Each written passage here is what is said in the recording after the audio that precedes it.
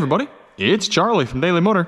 And when we found our Ford Maverick sitting on a dealership lot, it was just that. It was already ordered, it was dealer inventory. We were lucky enough to snag one at no markup. Shout out to Matt LaFontaine in Charlevoix, Michigan.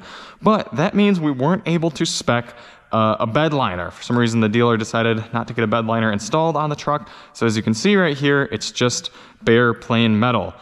we knew we wanted to do something about that. So I reached out to Line-X, someone that I wanted to, you know, was kind of the leaders of, of, of spraying bed liners, and they weren't super interested in, in, working with us on anything right now. So we're like, all right, well, you know, maybe we'll just we'll just pay to get a Line-X sprayed in at some point. But it's a little steep, so I was like, what other options are there? During my research, I found what's called a BedRug, kind of a, a, a fun name and it's from this company that makes these these kind of rubberized uh, plastic sort of liners that can drop into truck beds either sprayed in ones you know ones that already have a spray in or drop in liner or uh, kind of bare like we have here. And i was like you know what? This would be really cool to try out. So i reached out to them and they were like sure let's send you a bed rug and try it out here on the maverick. So it's right here. It says impact Mat. i don't think BedRug makes a full liner, uh, like kind of up the sides mat yet for the Maverick. I think they just have this liner one, but we're gonna open it up and see what it's like. So let's kind of pull it out right now. See, it was a good bit longer, longer than the bed in the box. And you can kind of see how we use the Mavericks bed on a daily basis. I usually keep this uh, bungee cord right there, kind of keep things in, and then I have made my 2x6s to sort of divide the bed off. And you can see there are actually quite a lot of sticks here from the last time we were doing some yard work. I'm gonna pull these out. I really like this flex bed and how you can kind of just slide these in and out of here. And you have two two by sixes at your disposal also, should you want to make a ramp or something.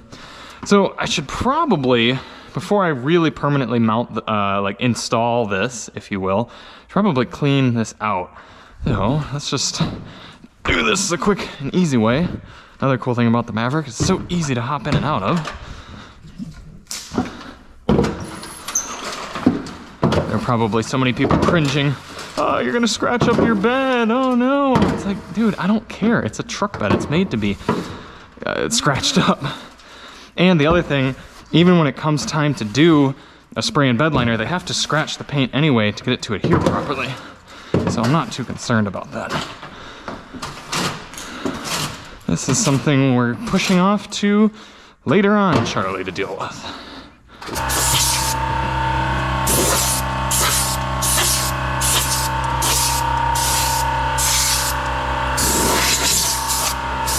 All right, let's open this bad boy up. It right on the bed here. For any of you who haven't seen before, we do have a Sentry CT cover on here from Truxedo.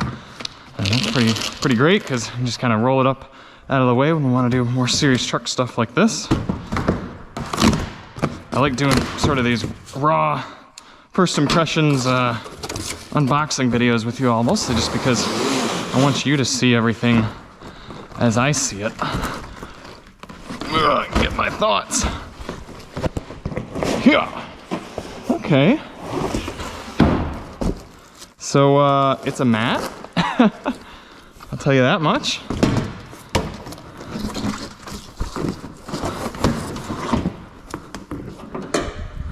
Do we have any sort of instructions? Here we are. Bed mat installation instructions. Let's see. Nice little Ziploc bag. Oh, I see an, an adhesive. Oh, it's Velcro. That shouldn't be too bad. Less than 15 minutes, good, because I don't have a bunch of time. All right, we'll go over the installation in a minute. But we've definitely got a lot of Velcro here, Velcro strips. I wanna take a look at the mat itself. unroll it and see what we're dealing with here. It's a, uh, I guess it's, I didn't really know what to expect in terms of the material, but it's, it's kind of neat. It's a little more rugged than I expected, a little more kind of durable feeling.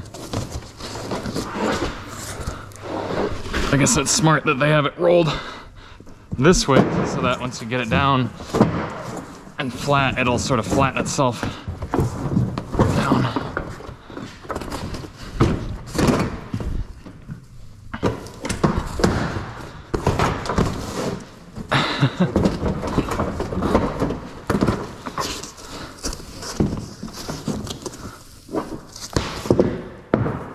I'm actually flattening this down on the ground, kind of make it easier for it to sit down in the bed. And I do have to say, it's nice and squishy.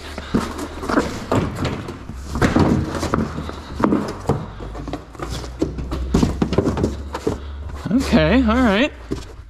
I'm liking it. Does seem to be cut pretty darn accurately. As I said, it's not the one that goes up the sides or anything, but it's gonna be nice is to have this. And then if you're getting in and out of stuff, it's it's it's a little grippier. It's not as grippy as something like a a rubber, a straight up rubber mat is. So you could still kind of slide things in and out, I think. You can hear just kind of that, it makes me think of like a rock climbing gym, like tumbling mat sort of deal. And then this will adhere right here to the, uh, to the bed. And then I'll be able to close it and open it. We'll have a nice, uh, smooth surface there. Okay, this is, this is gonna be neat. So I'm gonna clean out the inside of our bed a little bit more thoroughly. I'm actually gonna take it out with the water and, and rub it down a bit and clean it because if that's gonna be living on there, I don't want it to be living in uh, on dirty, dirty metal. I'd rather it be nice and cleaned up. So I'll, uh, let me get that cleaned up and then get this thing Velcroed in. Kind of looking at stuff here, seeing how it's gonna go. So this will be, uh, this will be neat. Part of the BedRug instruction manual says that the metal should be above 68 degrees Fahrenheit. Well, it's not above 68 degrees Fahrenheit in here, so I'm, uh, just getting a little bit of heat gun action on this, just to kind of warm up the warm up the metal, at least to ambient, because outside it was about 40 degrees, and in here it's probably about 60. So this should at least get the surface of the metal up above 70, I'm hoping, at least kind of into there into their uh, heat requirements. Another thing that I'm kind of going a little bit off script for compared to uh, what BedRug says is they actually say bring the mat in here and then fold up kind of the side of it and lay down one side to to figure out exactly where the adhesive should go down. I just measured from the mat where in the truck bed it should be laying and I'm laying the, the adhesive down first because especially in the smaller bed it's really not easy to maneuver that mat when it's in here. So I'm thinking this will be easier. Just put this down and then put the mat all in at once. If it goes poorly, you all will know. Kind of pull this off, pretty straightforward. Try not to get it stuck to you or anything else. Then, got the scissors marking right where I'm supposed to start. Okay, try to keep it nice and straight right down the, whatever you call this, little vein of the truck bed. Okay, good and secure. Press it down. Those look pretty even. Fortunately, it's a very long Velcro strip. I know it's not technically Velcro, they don't call it that, but come on, we all know it is Velcro. Then it should be as easy as laying the mat on that. Let me double check yeah, should be should be that simple. Let's let's find out. I do want to point out there are some little uh, imperfections in the cutting, if you will, as it came from the factory. So you might want to just kind of go through with your hands if you get one, a bed mat yourself, and pull those off if you're a little OCD, which I am not. So sneak this back through here again drum roll, moment of truth here.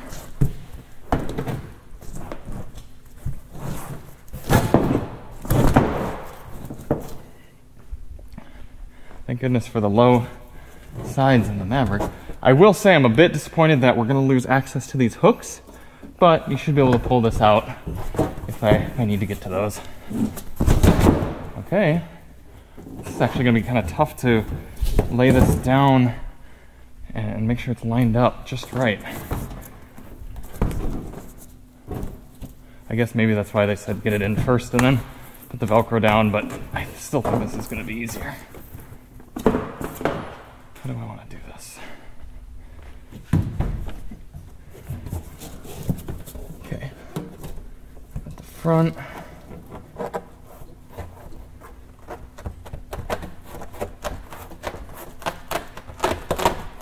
Alright, I hear it, it I hear it sticking to the Velcro.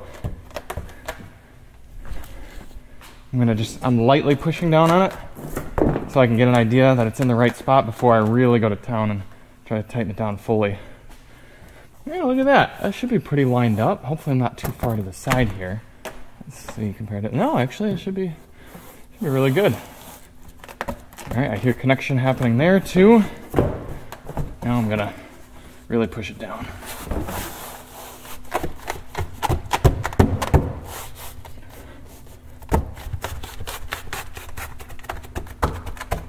Look at that. Nice.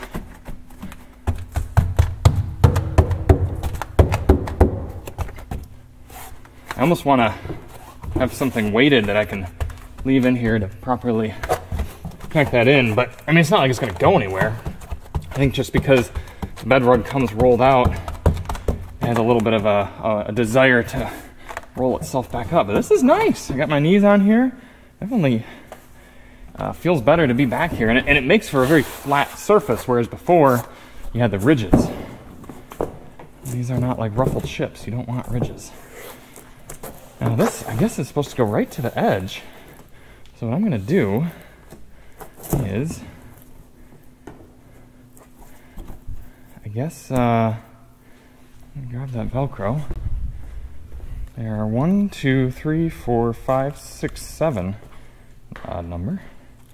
And I guess you're supposed to go like one, two, three, four, five, six, seven. That seems pretty reasonable. Again, look at this curve though. Maybe let's try rolling this backward in the opposite position just to get it to get its positioning a little bit here. It is fairly maneuverable once you kind of just get some get aggressive with it a little bit and sort of tell it where to go. No, let's go for it.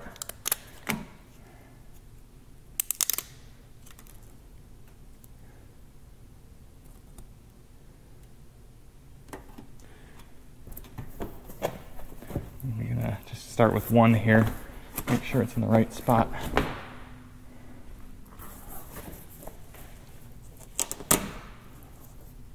Yeah, I'm a little, actually a little too far forward. That one I'm gonna come back a little. Now this is interesting. I, I, guess I'll go like this. That's probably a smarter move. Yeah. Oh, I'm just realizing now that I forgot to heat this metal up So, let the record state that if I have issues with this BedRug staying down on the tailgate, it'll be my own fault that I didn't heat the metal up first. I'm, I'm already really excited about having this. It looks better too.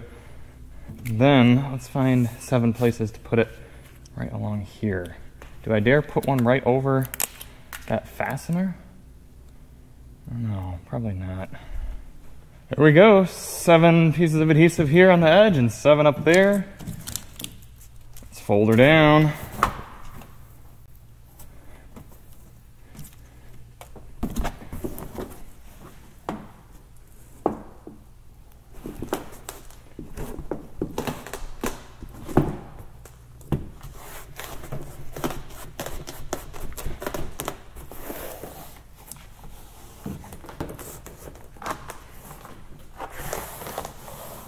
Cool, look at this.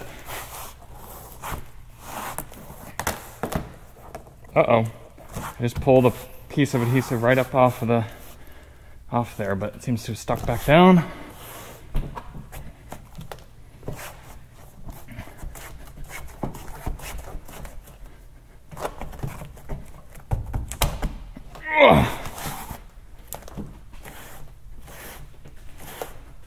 Nice, look at this. You know, for a few hundred dollars, I am really happy with how that looks. And that was actually a remarkably easy install. Sometimes when things say, oh, you should be able to do it in 15 minutes, I'm skeptical, but oh, this, this looks really quite nice. First close, Probably, I don't know if I should be closing it right now, but yeah, look at that. Okay. Cool. I'm really happy with how this looks actually. I was a little nervous when I took it out of the box and I'm like, yeah, this, this kind of looks a little jank, but placed in here properly, I think it looks quite nice. I think I, I might try to pull a few of these off once the adhesive is, is really firmed up some more and, and been on there for a while and maybe try to get this a little more flush along the edge. I kind of wish I would have kept the adhesive strips a little bit further in so keep that in mind if you're installing one on your own. It'll look a little cleaner that way. But overall, I'm pretty happy. And it's definitely accurate that being in here is much easier. If you were going to use your truck bed for, geez, I don't know, even just sitting in here. Can, can I lay down in the Maverick? Let's see. Oh, I totally could. Oh, wow, I could use this as a... You could straight up sleep on this. it's really not... And I mean, it's it's firm, but it's not hard the way uh, the way the metal is. So if you laid a little extra something down there, you could, you could use your Mav for a sleeper. That's pretty cool. Installation was pretty darn straightforward. You clean it, lay the two strips down right there on uh, right where they're supposed to go. You kind of measure it out and then lay these strips and you put it in. It really doesn't get too much easier than that. So I'm happy for that, ease of use. And I'm not quite as concerned about the sides of the truck as I was the base right here. So we'll check back in after a month or so of living with the BedRug and doing crap with it. I know tomorrow we've got to load up some some more of these sort of sticks and and some uh, kind of yard bricks and, and pavers and stuff. So it'll it'll be cool to test it out that way. And I'm also looking forward to getting a motorcycle in the back here at some point and having this smoother surface for the tires of the bike to go on too. And yeah, it's just gonna. I, I think really think it's going to make it a, a, nicer a nicer thing to have. Absolutely. So thank you all so much for watching. And if you want to see more on the Maverick, check the link in the description. We got all sorts of videos. And we'll see you on the next one. I'm Charlie from Daily Motor, and as always, drive on.